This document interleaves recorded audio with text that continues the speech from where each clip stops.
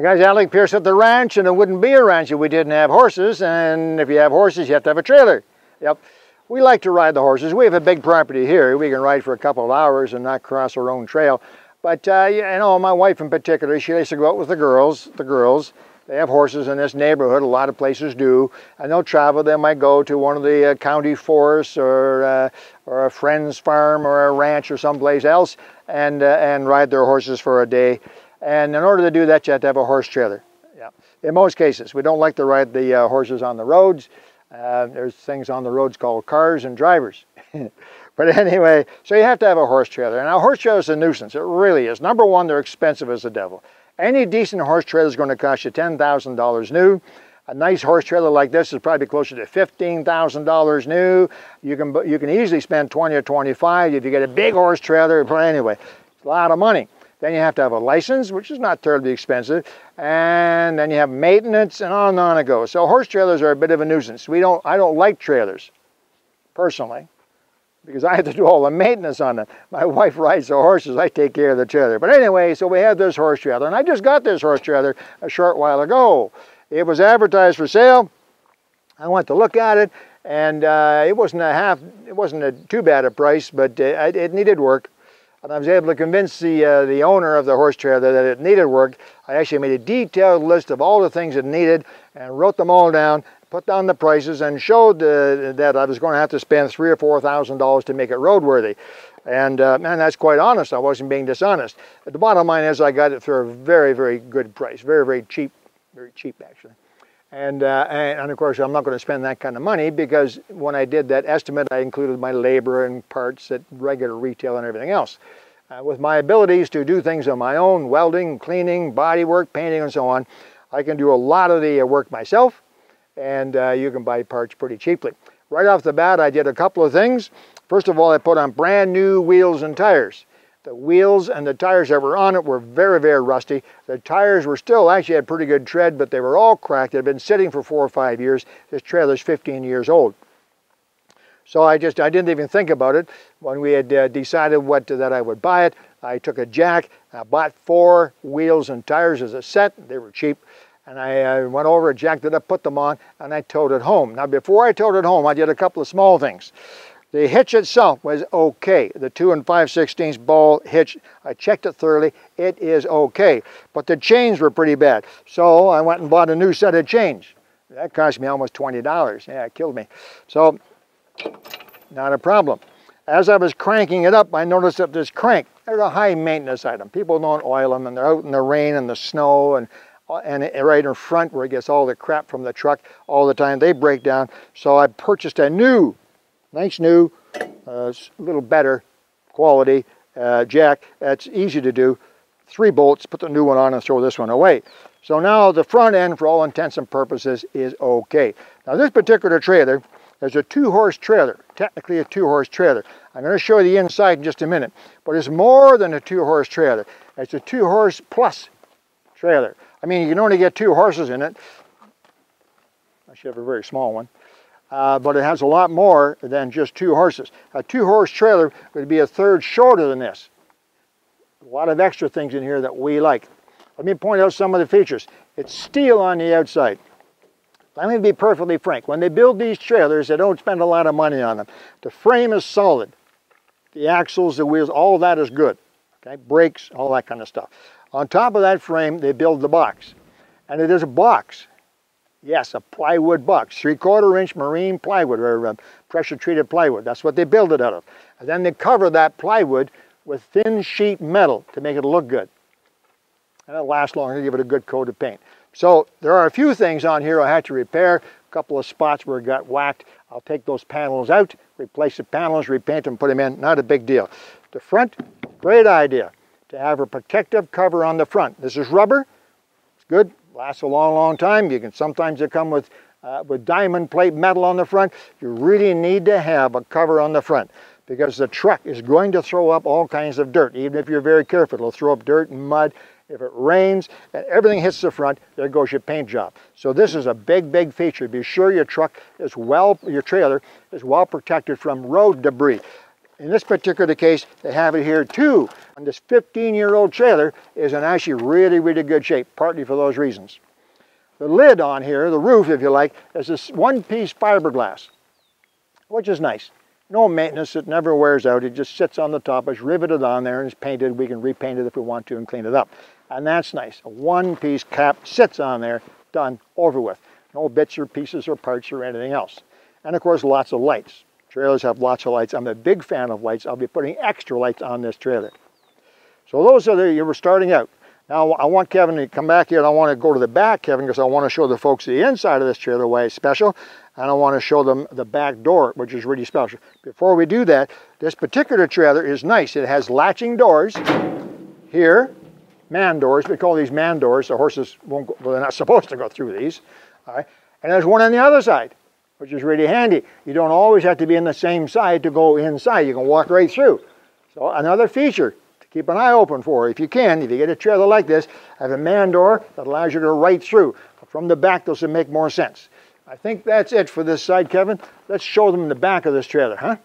You've all seen horse trailers if you have horses anyway. Pretty typical. This is the one area where we wish it was different.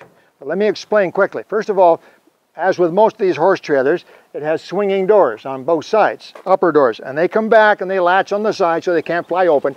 You can actually drive with these doors open like this. You see all that, Kevin?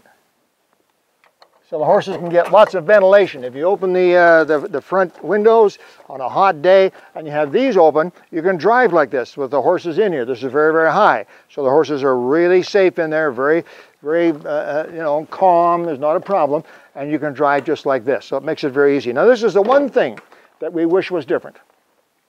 We have discovered over the years that the uh, stock trailer type of doors is preferable. That's what we think anyway. This is a drop down. This is what's called a ramp or drop down trailer door. So this whole panel is a one piece panel supported strongly with these heavy bars, some of which I might have to replace. And this is going to flop down. I'll show you in just a second. So now the horses have a ramp to walk up. It sounds really nice, doesn't it? Uh, well, let me explain why it's not as nice as we would like it to be. These are securely held by pins on each side. They also have spring assists on the bottom so that when this comes down, it's not too heavy. You don't want to slam to the ground. So this drops down like so, slams to the ground. And now you can see the inside. So now you see what I mean about a ramp type horse trailer. The horses, you bring them in and they walk up the ramp and they walk in, one horse on each side. Let's deal with that first of all. This actual ramp is a bit of a nuisance. First of all, it's high maintenance. It has a full width hinge right down there where all the uh, horse, what do we call that stuff? All the stuff that the horses leave on the ground is now down in the hinge. It's a steel hinge. It has to be washed every time it's used and it has to be lubricated a lot or that hinge will jam up in no time. Also, this ramp is has some effort to opening and closing it. It's a bit of a nuisance opening it. That's a bigger nuisance closing it. With a stock type trailer, there's no ramp. With a stock type trailer, there's usually one big door that goes right across, and that door swings out. So you swing it out like this, swing it around to the side. It will also latch over here, and the horses go in. Now people say, well, the ramp, isn't the ramp easier? They work with me on this. Horses jump four feet over fences, trust me, all the time. This is about eight inches off the ground. And would you do it twice. You do this twice with a horse. Get a bit of a treat in there and encourage the horse calmly to step up to get his treat. He'll do it every time. He'll walk up to that and step in. Not a problem. No ramp to slip on, no ramp, because this ramp, when the horse goes up, actually makes noise. We discovered that with one of our horses. He didn't like the noise. So it eliminates a lot of issues. No hinge. There's a hinge on the stock door like this. But other than that, this trailer is pretty good. So keep that in the back of your mind as you're thinking about your horse trailer. Do you want a ramp like this with some of its issues? This surface is rubber. It has to be non-slip. Everything else. Uh, or you want a stock type trailer? Look at them both. If we had a choice, we would have changed. Anyway, let's go inside, Kevin. Inside the trailer, is really pretty simple. This bar in the middle actually comes out. One pin on the top and this bar comes out. So now you can lift out this center partition. If for any reason you want to carry one horse in greater comfort, you can do that. Put him in here. But right now it's set up for two horses. So the horses come in. It usually has a pad. I've taken them off. Has a pad on the outside wall, and it has a nice heavy pad on the inside wall. Heavy vinyl with foam padding in it. So the horses' sides are padded. You can see that the door at the back is rubber, but also, I don't see them here now, there's a chain that goes across here. And that chain is not tight, it swoops down like so, and it's a nice big piece of heavy black rubber garden hose on the chain. And that sits right at the back of the horse. So he knows there's something back there, and he stops. He doesn't actually bump into the door. That's good. And at the front of the trailer, I can put one of these up, Kevin. You can still see up this far?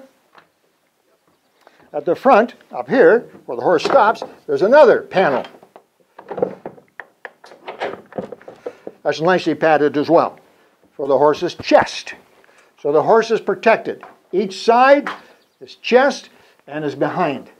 So the horse is in here. He feels comfortable. If the trailer rocks a little bit, goes into a corner, he doesn't care. He just leans on the wall or leans on this center panel.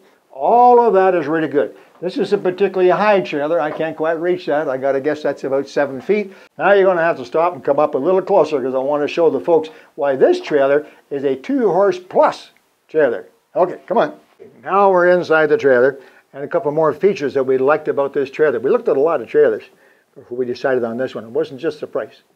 Windows, sliding windows with screens in them, and, uh, and uh, all the features I've already pointed out to keep the horses comfortable and feeling secure, all that's really important. Now, a two-horse trailer would normally end right here, right about here. Just enough room for the horse's head. There's a couple of hooks here for hanging uh, a, a, short clip if you want to actually clip the horse's uh, halter. And there's a couple hooks as well for hay feeders, so the horses would be in here this far, and away you go. And that works for two horses. A little shorter trailer is, is, is handy. But, you know, if you're a horse person, you know there's a lot of junk that you have to take with you. You can't just do it. You have to have water, you have to have hay, you have to have feed. We have these things called saddles and bridles, oh, and blankets, all kinds of things. You know? Where are you going to keep that? Well, back of the pickup truck, right? Well, the back of the pickup truck, isn't that where your cooler with your, uh, your pop and uh, your sandwiches and all that kind of stuff is, your riding clothes, that's where that is in the back of the truck. So it's kind of nice if you can keep all that stuff with the horses. It's stuff for the horses, so should be kept with the horses. And that's what this trailer allows. So we're coming closer to the front. First of all, you can see that these two man doors are fantastic. You can walk out here, hey buddy, or you can walk out over here, hey buddy, and the door's locked, so this is great. So there's a little extra room right up here in the front. But even more than that, watch. That's not the end of the trailer. The end of the trailer, remember, is rounded. So I can actually go in, there's a room up here. We call it the tack room or the hay room. A room up here, it's a big room. Probably three feet in the center, curved. You see my hand over there, you know, this is quite tall. And you can't see it, of course, but in here we have saddle uh, racks, and we have uh, chairs, and we have uh, horse blankets, and we have a shelf. So we put the saddles the horse. We put the hay on the ground. We have some some hay. Uh, what are these called, Kevin? Hay nets. You fill those up with some hay and hang it above for the horses to feed on. horse blanket, rain blanket, all that kind of stuff up in there. And it's nice. It doesn't get dirty from the horses. We keep it nice and neat and clean. There's a light in there, so if it happens to be nighttime and you run out to feed the horses, it's quick and easy. So all of those features are the kind of things that we looked at this trailer and said, hey, that is a really handy trailer.